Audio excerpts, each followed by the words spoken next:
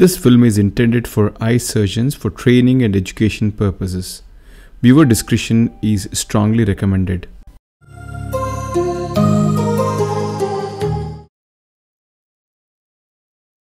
Hi friends, today we'll discuss about a case wherein posterior capsule tear happened during surgery and let's try to understand uh, what was the stage at which it happened, why it happened and eventually how was it managed. Just watch the video till the very end to understand the finer nuances of managing the posterior capsule tear and doing an anterior vitrectomy under topical anesthesia. He's a 60 year old man who has this a nuclear cataract. Nucleus grade is around grade 4 and uh, clinically there is no evidence of any pseudoexfoliation. Pupil is very well dilating so this should not be much of an issue. So the rhexis is done. It's of adequate size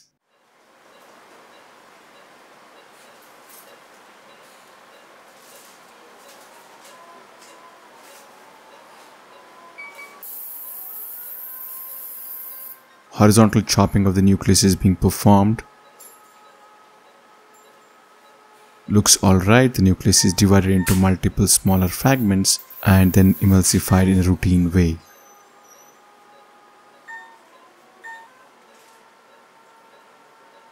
The nucleus emulsification was quite uneventful, nothing about that. The epinucleus is then visco-expressed out of the eye the cortex aspiration is being done in the routine manner. Things are going very well according to the plan, so no surprises. The last bit of cortex is aspirated out.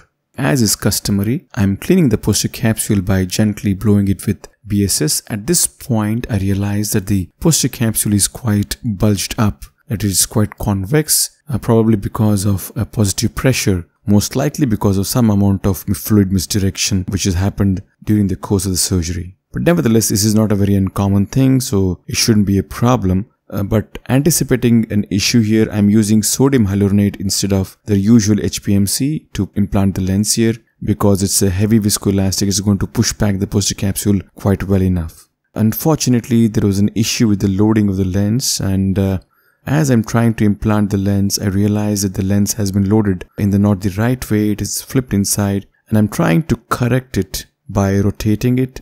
And at this moment I feel that there is a lot of uh, manipulation which is being happening inside the bag and the haptic is literally touching the posterior capsule and this doesn't really look good.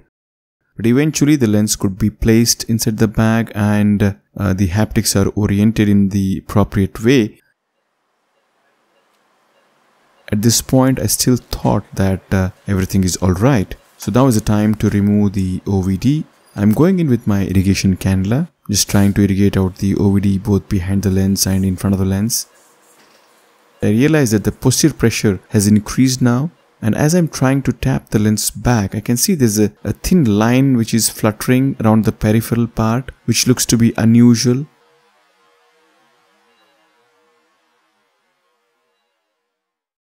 As I'm trying to press the lens back, the peripheral line which you're seeing blows out and an obvious posterior capsule tear is visible now.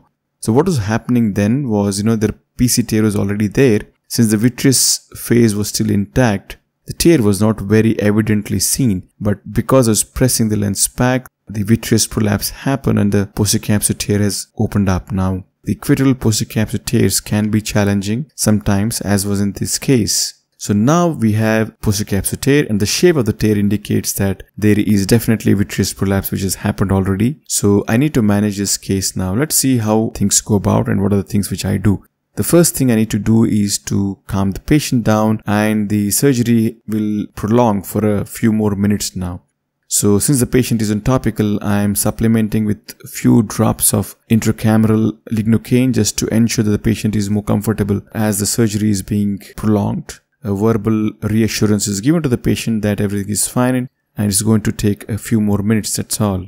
Although the vitreous prolapse seemed very obvious now, I would still like to confirm it by using diluted triamcinolone acetate. The advantage is that it exactly shows me the location of the vitreous fibrils and also the extent of uh, vitreous which has prolapsed out here. we can see that couple of fibers have already entered into the main wound, which was not very obvious beforehand. The most important parameter when you're trying to do an anterior vitrectomy is the bottle height. So whenever we have a posterior capsular tear, the, first thing we need to do is to decrease the bottle height. We don't want the fluid to gush in with force because the moment the forceful fluid gushes in, there is every chance that we are going to enlarge the posterior capsular tear film still more and also prolapse the vitreous out. So this is probably the most important parameter. Watch out for the bottle height. In this case, the bottle height is set around now 40 centimeters, which is extremely low compared to the 90 which we typically use for irrigation aspiration. The cut rate is set at very high, about uh, 2500, which my machine allows here, and the aspiration flow rate is extremely low with a moderate vacuum. The vitrectomy takes just a few minutes. We don't want to do an extensive vitrectomy. We want to take care just of the prolapsed vitreous which is here. And the majority of vitreous seems to be cleared out, but I feel that the pupil is quite oblong near the incision and I suspect that these two fibrils could be still a vitreous fibril here. I'm instilling few drops of intracameral pilocarpine which helps me to delineate the fine fibrils a little bit better. These two fibrils are taken care of but what I had not anticipated was at this area. Look at this area here. There's a very tiny peaking of the iris again suggesting that there is a strand which is coming out into the side port here. Again, I'm going to use triamcinolone acetate, delineate the fiber and then perform a little bit more of an anterior vitrectomy.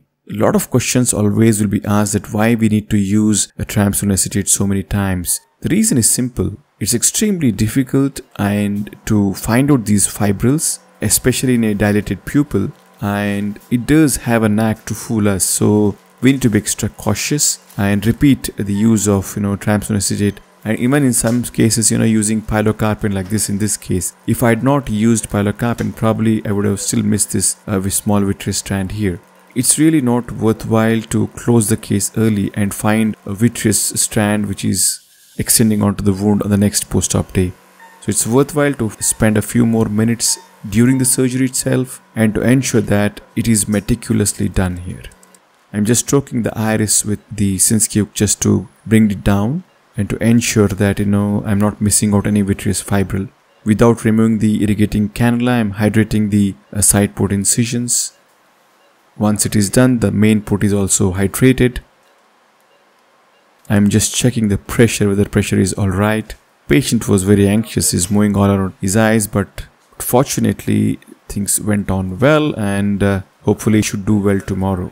In the immediate post-op period, I am expecting some amount of a raised pressure so I'm putting him on topical anti-glaucoma medication of brimonidine and timolol and let's see how things go in the first post-op day.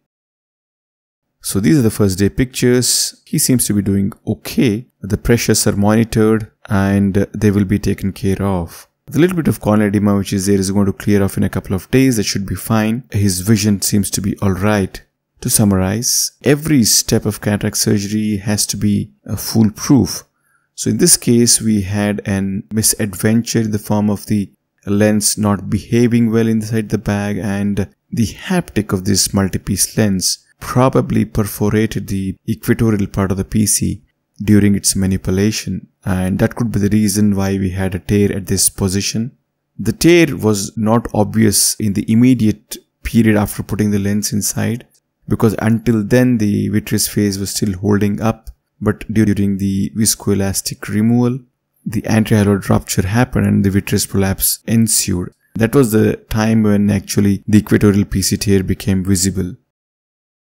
Obviously, even though the patient was under topical anesthesia, just supplementing with few drops of intracameral anesthesia and using the right parameters of low bottle height and adequate cut rate we could manage the prolapse vitreous in a decent way without having much of an issue. Well, if I had a second chance, I would probably have done a couple of things differently in this case. During IOL implantation, the moment I realized that there was an issue with the loading of the lens and the injector system, I would have withdrawn at this stage and reloaded the lens again, probably with a different injector if need be. I would have chosen safety over confidence. Number two, at this moment, when I realized that there is suspicion of an equatorial posterior capsular tear, I would have been a little bit gentle in tapping the lens down and also very slow with the irrigation. This would probably have prevented the anterior hyaloid rupture and vitreous prolapse. So these are the two things which I would have tried if I had a second chance and hopefully the outcomes would have been different.